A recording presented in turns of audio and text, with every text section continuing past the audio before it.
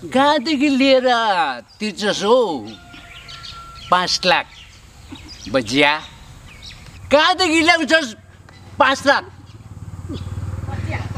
बजिया।